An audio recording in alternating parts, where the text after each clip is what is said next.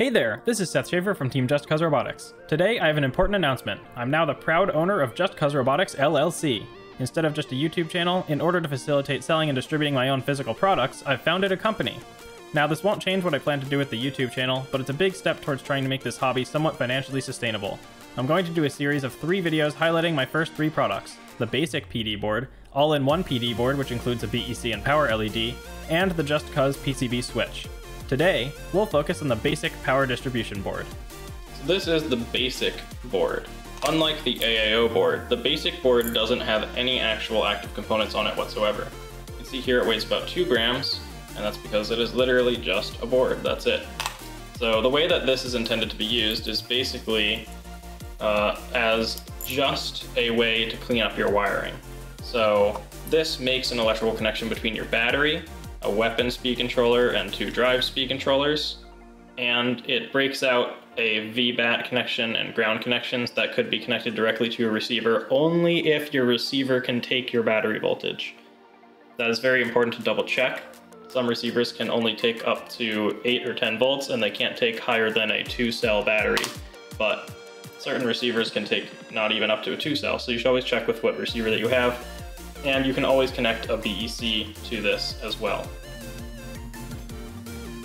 So the basic board is really, really simple.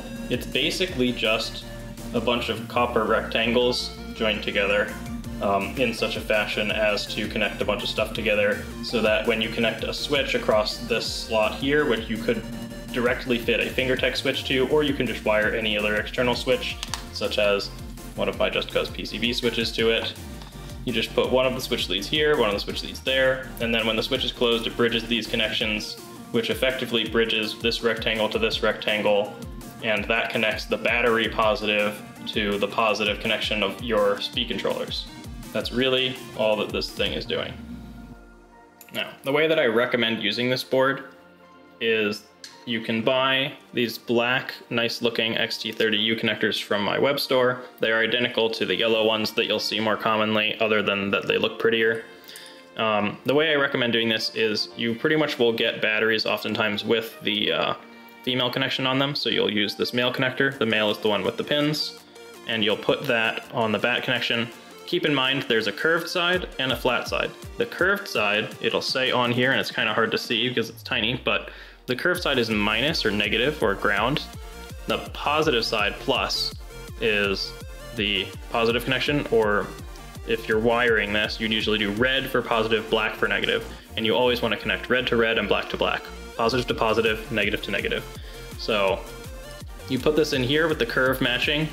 That means that your negative side, or the rounded side, is all along this bottom edge, where you can see it says ground up here, and then VBAT is your positive, and that is all across here after it's through the switch. So this terminal connects to the switch, then the switch connects to all those terminals, and then all of the terminals on this side are the ground connections, those are all bridged together.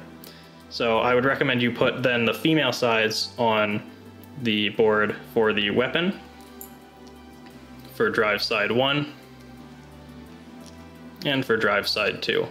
Again, just making sure that all of the curved sides are facing from this orientation the top of the board. This way you guarantee that anytime you plug in your battery and you plug in your speed controllers, you don't plug anything in backwards because you physically cannot plug these together. If you try to do them upside down, they only go one way and they key together like so, so that you never have any shorts that will blow up your components by wiring a speed controller to your battery backwards. So this thing will help to reduce the chances of error and it also makes the wiring super, super easy because it takes all of like 30 seconds to just flip this guy upside down. And now you've got all of these connector bullets pointing upwards, ready for you to just tap your soldering iron to, feed some solder in, and then you can make each connection in like five seconds or less. So this is Shrapnel Mine, my uh, work in progress three pound robot. In Shrapnel Mine, I'm using one of my prototypes of the basic board, but it is functionally almost 100% identical to the version 1 board that I have in front of you here.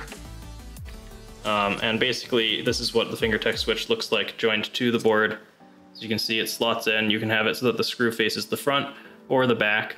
If you really wanted to be creative with it, you could probably turn this 90 degrees and solder it on flat or something, but if you don't want to use the fingertech switch directly on the board, if you'd like to put a fingertech switch or one of my Just Cuz switches remotely somewhere else in your robot, you can easily do that. All you need to do is make sure one of the leads from the switch connects to this slot, one of the leads from the switch connects to this slot.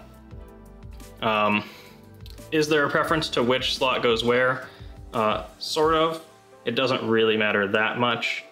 Um, but ideally, you would want the switch plug connected to the battery will be this one, and connected to the rest of the robot is this one. So FingerTech recommends that you connect the battery to the top, or the, the one closest to the screw here.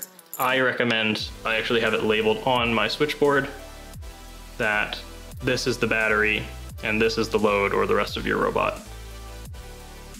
So the battery connection here would go to right there, and the load connection here would go to right there.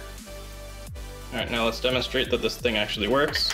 With the prototype board, like I said, it's functionally 100% identical to the basic board that I've released that you can buy on my store right now.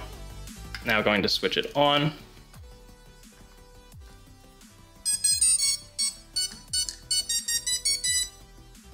Now, when I turn on my transmitter, if I didn't plug in everything to the receiver backwards, get some more sounds confirming that it's connected. There we go.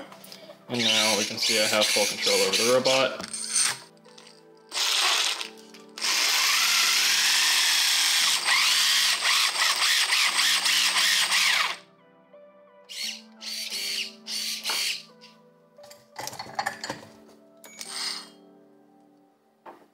All right, so yeah, everything works just as it should.